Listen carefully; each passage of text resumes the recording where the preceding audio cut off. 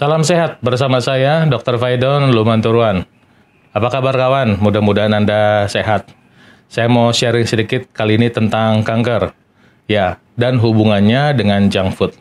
Kita harus tahu bahwa junk food baik makanan-makanan seperti burger, pizza, french fries dan atau makanan fast food yang lazim di Indonesia seperti mie instan itu punya hubungan atau bisa memicu terjadinya kanker. Dan kalau kita sudah kena kanker, itu capek deh ya risikonya biayanya karena itu adalah lebih bijak bagi kita untuk mengenali penyebab kanker dan kemudian mencegahnya. Bagaimana caranya? Ya kita harus tahu bahwa makanan-makanan tadi bisa menyebabkan kanker lewat beberapa mekanisme. Pertama dari bahan pangannya sendiri. Ya, bahan pangan itu mungkin uh, daging-dagingannya ya bisa mengandung berbagai macam obat-obatan, antibiotik, kemudian uh, hormon yang ketika tertumpuk berakumulasi bisa menyebabkan kanker. Kedua, bahan pengawet yang ada di dalamnya. Itu bisa menyebabkan uh, risiko terjadinya kanker. Nah, kemudian ketiga adalah ketika sudah terjadi penyakit tertentu yang sering kali kita nggak uh, bayangkan ada hubungannya, misalnya diabetes, misalnya hipertensi, ternyata obat-obatannya pun bisa memicu atau berpotensi atau berhubungan dengan kejadian kanker.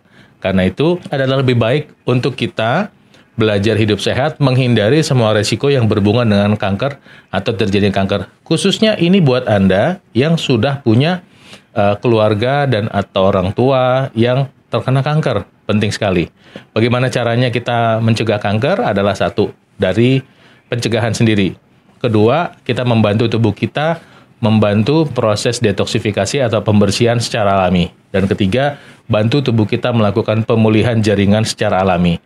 Jika Anda ingin tahu detailnya, yuk boleh ikut seminar solusi sehat alami dengan tema pencegahan kanker bersama saya Dr. Faidon Lumanturuan hari Sabtu dan Minggu, pilih salah satu aja, 5 Oktober atau 6 Oktober 2019, jam 8 sampai jam 12, lokasinya di Gedung Prodia, Jalan Keramat Raya nomor 150 Jakarta Pusat. Investasi normalnya 900.000 tapi untuk 50 peserta pertama cukup Rp290.000 saja. Ini nanti Anda akan mendapatkan pemeriksaan lab dari Prodia, pemeriksaan organ dari Zegen, kemudian mendapatkan terapi alami, dan tentu Anda akan mendapatkan temangkalah bagaimana membantu mencegah terjadinya kanker. Daftar sekarang juga, ini penting buat Anda, dan tentu ada garansi 100% uang kembali apabila Anda tidak jadi ikutan seminar. Daftarnya ke mana? Daftarnya di eh, Mbak Rosa, Content Indonesia di 0878 8578 7879 0878 8578 78 79. Event ini terselenggara berkat kerjasama antara Radio El Sinta, Content First Indonesia, dan Fit Radio Network. Salam sehat dari saya untuk Anda.